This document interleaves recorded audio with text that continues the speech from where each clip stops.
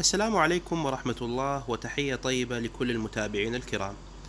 إجابة على بعض طلبات المتابعين، فيديو اليوم حيكون حول كيفية إضافة درع الحماية لحساب الفيسبوك.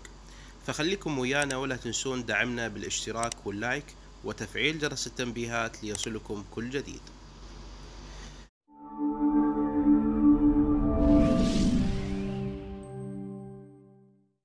أولا شنو فائدة الدرع؟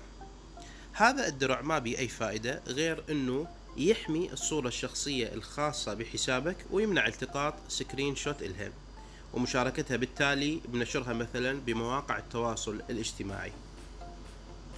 والآن إذا كنا نتكلم عن الدرع الحقيقي اللي يقوم بهذه العملية فالحصول عليه ممكن فقط يعني آه للحسابات الجديدة.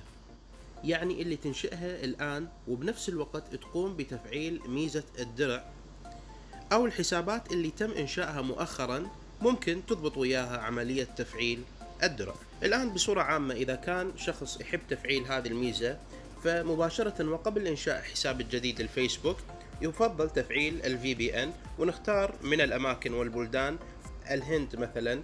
آه، يعني نضبط نضبط الهند هو بلد ال VPN وبعد ذلك نقوم بإنشاء حساب الفيسبوك بشكل طبيعي جدا.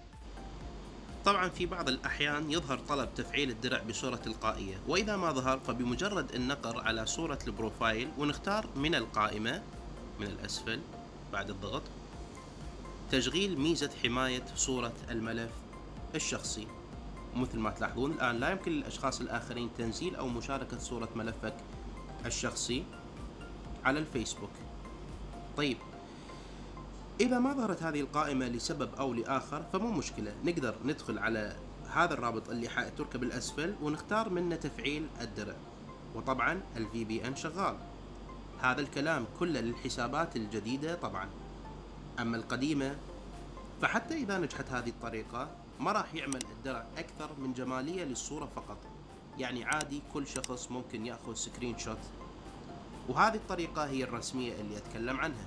ممكن أكو بعض الطرق الغير رسمية وما أنصح بيها لأن ممكن تعرض خصوصيتك للانتهاك أو حسابك للخطر. إذا هذا كان كل شيء اليوم. أتمنى يكون الشرح مفيد لكم.